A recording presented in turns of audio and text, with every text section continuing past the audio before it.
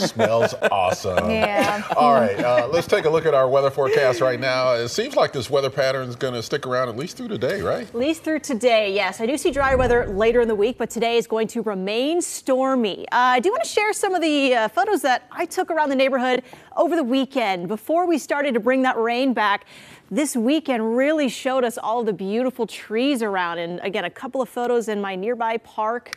Uh, yellow trees, orange uh, trees there. That was a Japanese maple. Just amazing. So I hope you enjoyed all the colors out there.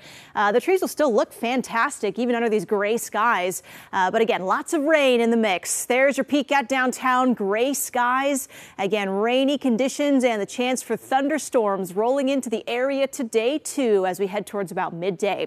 Now, the culprit is this strong low that is offshore. It's pushing in lots of cold air and bands of rain. That cold air is, is what is developing those thunderstorms, and that continues as that air advects into the region. We'll start to uh, bring back some thunderstorms, maybe even some lightning strikes in the valley today. You can see those strikes just offshore there, even some down towards southern Oregon. So heading into today, we'll see more of this rain shifting in. Notice a lot of rain in Portland now, down the valley, a little drier. So I do think within the next hour or two, we'll get a brief pause pause in some of this widespread rain. But again, still expecting lots of downpours and pockets of heavy showers today as we work our way towards the afternoon. There's a peek out Portland now, and you can see uh, there is rain all around the area here, the I-5 corridor and extending east and west on Highway 26 and Interstate 84 there. So use extra caution on the roadways today. Our daytime highs will top out right around the mid 50s and all across the west and east sides of Portland. That chance for rainy conditions and thunderstorms.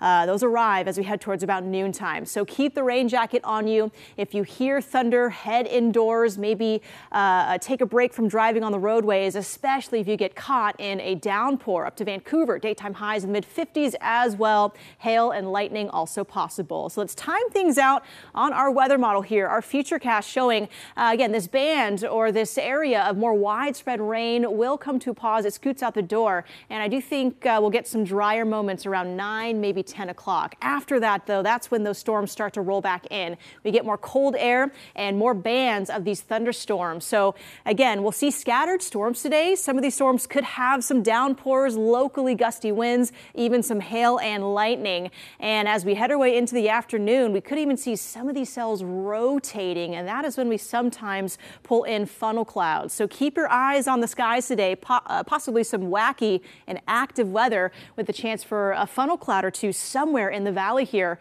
Again, areas of southwest uh, Washington always tend to be a spot that sees those as well. So again, we keep it rainy overnight and into Tuesday. Finally, some dry time as we work our way into later tomorrow. Again, there's that thunderstorm potential. It includes Portland and the coastline too. Downpours, lightning and hail. That is what a funnel cloud looks like. This is from June from uh, Crane, Oregon. So we'll be watching the skies closely. If you see some rotation, potentially a funnel cloud may develop. If this cloud touches the ground, that is considered a weak tornado, and that is when we could see some damaging winds. So we'll watch the afternoon here for a chance of that. Again, that may happen somewhere in the valley or may not happen at all, and not everyone's going to see one. So uh, again, we'll watch closely. Here's a seven-day windy and stormy today, a little drier through midweek. Our daytime high highs in Portland this week will likely hover in the mid 50s. Still tracking.